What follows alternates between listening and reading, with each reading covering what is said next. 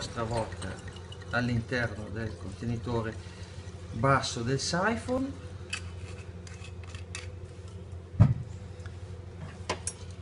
Inseriamo i nostri aromi ossia l'aroma che pensiamo possa funzionare per aromatizzare il nostro drink.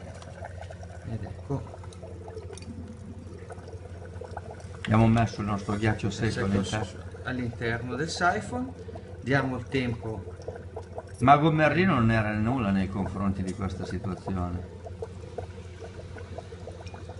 il tempo circa in cui noi il tempo che il ghiaccio secco Finisca la sua funzione. la sua funzione esatto quindi poi la, la vodka sale giusto? La vodka sale nella parte superiore, va come vedete a, eh, a contatto con gli aromi che metteremo all'interno e ne prenderà.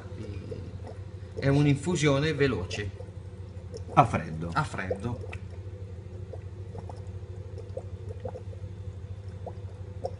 gorgoglio continuo Sì, quindi sì, vuol dire che praticamente la vodka sale quasi tutta Sì, sì, sì, sì, sale completamente.